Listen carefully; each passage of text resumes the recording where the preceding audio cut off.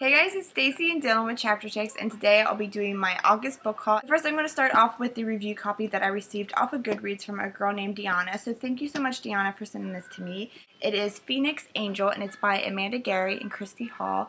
This is the Shardwell series, book one. And this one is about three best friends who one day develop ter terrifying abilities, and even worse, something deadly has taken an interest in them, but they only want one of them alive. So I'm really looking forward to reading this one. It is the series, and I do love the cover. Greentown was having a huge yard sale, so I got a couple of paperback books for really cheap. I finally got uh, book one in the Maximum Ride series. This is Fugitive One, and this is about a girl who is half angel who has to fight against people who are half werewolf.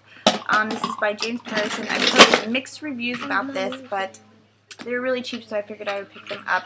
So I got book one, is The Angel Experiment. Two, which is School is Out Forever. And then book three is Saving the World and Other Street Extreme Sports. And then also I got book one in the series that comes after that, which is the Protector series, which is the final warning. So, yay! I think I got all these for like a dollar. Book one in the Chronicles of Vladimir Tod. This is by Heather Brewer and this one is called 8th Grade Bites. All summer long I've been wanting to get Wreck This Journal by Keri Smith. Um, for me my son to do, this is my, I can't find mine right now, mine's disappeared, but this is my son's copy as you can see. He's only done like four pages and it is already wrecked, but we've been having a lot of fun doing these. So I think this is a great thing to do with your kids because it's just so much fun and this is his drip page that he did. You want a uh, activity to finish out the summer with your kids. Wreck This Journal is a really good thing, but he has no problem with the concept of this journal. He completely gets thinking out of the box, obviously, because it took him no time to destroy this thing. We also had like a parade of authors come in. We had a YA panel of seven authors come through, and then we also had Chris Colfer from Glee come through with his story. So yeah, me and Jessica for the past two weeks has been going to meet all these awesome authors. So it's been amazing. So the first one I'm going to show you is Chris Colfer. And it was insane. There's his signature. He is super nice. We were, me and Jessica got the last two tickets because we couldn't even get to the ticket area to get our tickets. So since we know the bookstore so well, we went to the children's area, and the guy in the children's area who worked there pushed through the crowd and went up and got the last two tickets to see him.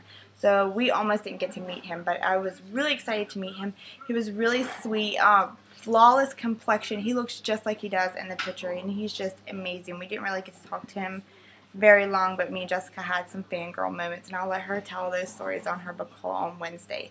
But yes, this is his uh, the Land of Stories and The Wishing Spell. I'm really looking forward to reading this. I've heard many good things about it, and it's just fairy tales. And he actually did write this, and it's not just something that he had somebody help him write. So really looking forward to reading this. It was supposed to be a panel of eight authors, but Christine Kettle, she could not show up, and I had to buy Two Truths and a Lie on Amazon because they didn't have this at Joseph Beth, but for some reason she wasn't able to make it, but I still got the book, and it sounds really good. It's about a girl who childhood has a bunch of mysteries and she's been telling lies her whole life and now she's grown up and she's famous and she's married and the lies that she told as a child might come back and bite her and it has to do with her friend's death that a mystery that surrounds her friend's death that happened when she was little. So this looks really good and I'm really looking forward to reading this one.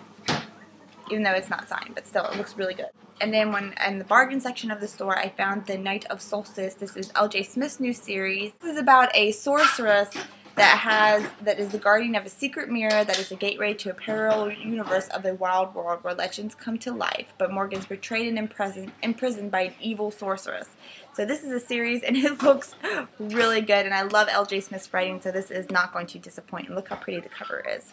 And then there's the second one right there. Third, um, Tensions of Opposite by Kristina McBride off of Amazon, and I was very disappointed to find that I had a library copy come in, but I was going to get it signed anyways, but my son took this out of my book bag before the signing. So when I was at the signing, I'm like, I'm missing one. So then I had to buy it again. Woo, again. This is about a girl that disappeared two years ago, and her friend Tessa has put her life on hold waiting for her, but trying to find out what happened to her best friend. And then one day the telephone rings, and it's from her best friend. She's alive, so you get to find out what happened with all of that. And there's her signature. Yes, this that panel of eight authors was amazing. They were so nice. Yes, love them all. And then Demons Lexicon by Sarah Rees Brennan is a book that I already owned. I didn't have to buy for the signing. But there is her signature.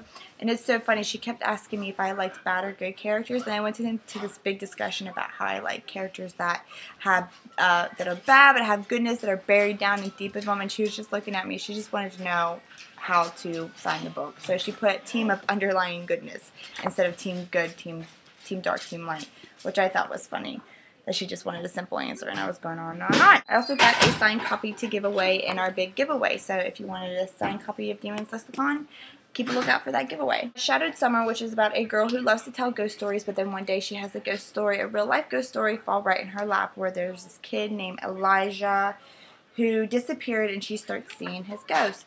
So yeah, this looks really interesting and there's her signature. Girl of Fire and Thorns. This is by Rae Carson. And this sounds really good. It's also a series. It's about a princess who is a secret wife of a king of a country who is in turmoil. She must go on the mission to save the country. There's also dark forces that are after her. Oh my gosh, it sounds really good. I can't wait to get to this one. Um, and there's her signature. 16 by Julia Karr. Um, this is about a girl where she lives in, it's kind of like a dystopian kind of sounding like. It's every, at the girl, every girl at the age of 16 gets a 16 tattoo on her wrist that it says it's for the protection, but after she turns 16, her world, her world is destroyed as she discovers nothing about her life is true and the boy helps her discover things in her past. So there's her signature. I begged the author to give me this copy. She actually gave me this copy as a, a, free copy, so I was really glad about that since I had to buy The Tension of Opposites again since Dylan took it out of my bag. But yeah, she saved me a bit of money there. Claire de Lune by Christine Johnson. This is about a girl who, on her 16th birthday, dis discovers that she is werewolf royalty. Then she has there's forbidden love in it. She's forced to make choices that will change her life forever. This is a series and these are the new covers. So I've been wanting to read this one for a while but never picked it up. And there's the signature. My favorite author of the pan panel, which was Julie Kagawa, she actually knew who we were when we went up to, for her to sign her books. I loved her. She was hilarious. She was so nice. Oh, she's my favorite. But I already had uh, book one through three, so I'm not going to show you those guys, those again signed. But I did pick up the Iron Knight, and then there's her signature, and I love this I love the Iron Fey series, and she was just sweet as can be. Love her. Immortal Rules. Oh my gosh, I've been wanting this book forever. This is the first one in the Blood of Eden series. Oh, I've been wanting this one since January. I've been waiting forever to get this book. Vampires are taking over the world, and they use they keep humans as pets. And there's a group of rogue vamp or rogue humans. Uh, the diseased uh, vampires that are wild. Oh my gosh, I've heard nothing but good things about these, and I cannot wait to see what she does with vampires. She did awesome with fairies, and I loved her. I've been wanting this book forever. I cannot wait to read it. All the books I got, guys. I hope you liked it. I know it was a little bit of all over the place, but there's a lot of people in here right now. Anyways, I also got a lot of swag that will be given away when we do that big contest. It was It's the big 5,000 contest. I don't know when we're going to announce it, but there's a bunch of prize packages. But we'll probably give some of this away during that. I got some Vespertine bookmarks. That was um, the Saundra Mitchell book, that the other Saundra Mitchell book I didn't get, and then Kristina McBride's new book, which is One Moment. That's supposed to be supposed to be a tearjerker. And then here's Sarah Rees Brennan's new book, which is Unspoken, and this looks really good. I can't wait for this to come out. That YA panel, I think, is still touring, so if you want to look around to see if that comes near your area, I would, because they are a great group of girls. I mean, there was probably only about 30 people there, but the signing still took three hours because they stopped and talked to everybody. They were an awesome group of girls. Lovely. Love them. And this is Stacy with Chapter Chicks, and I hope you guys enjoyed the haul.